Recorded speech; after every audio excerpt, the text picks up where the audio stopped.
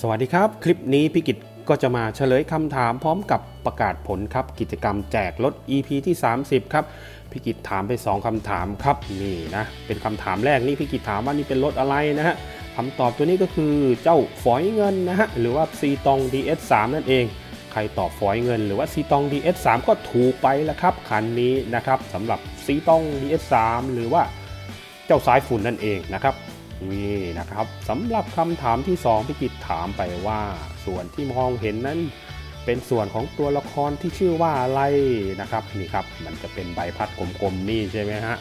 เฉลยก็คือเจ้าตัวละครนี้ก็คือวินเบลดนั่นเองนะนี่ครับใครตอบถูกทั้งสองคำถาม และตอบมาก่อนคนอื่นครับ ก็จะได้รับรางวัลไปฮะใครได้รับรางวัลอะไร ไปชมภาพกันเลยครับ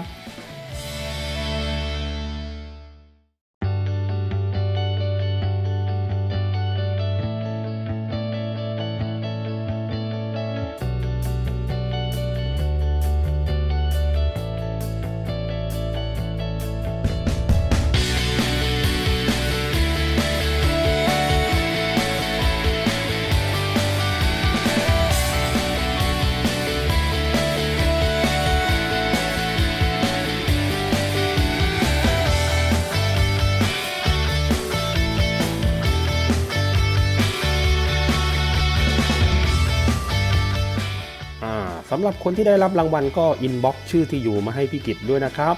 แล้วพบกันใหม่กับกิจกรรมแจกรถช่องสีตุคุณวันอาทิตย์หน้า สวัสดีครับ